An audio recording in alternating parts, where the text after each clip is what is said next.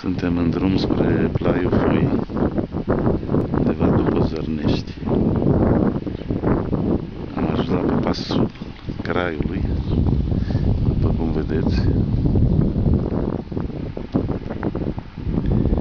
Am ajuns aici pe un drum în care nu cred că a mai rămas vreun șurub la locul lui la mașină și vreun oșcior la locul lui în membrele noastre. Plin de gropi și de pitroai și de pietricele și de îngrozitor. Am mers 11 km în aproape o oră. Și asta în drum spre Plaiul Foi. Să zice eu fizic în Foi, care face parte, cred, din uh, Parcul Național al Munții Craiului.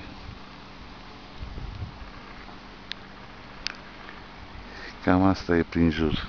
Adevăr foarte super totul, numai că drumul ăsta te omoară.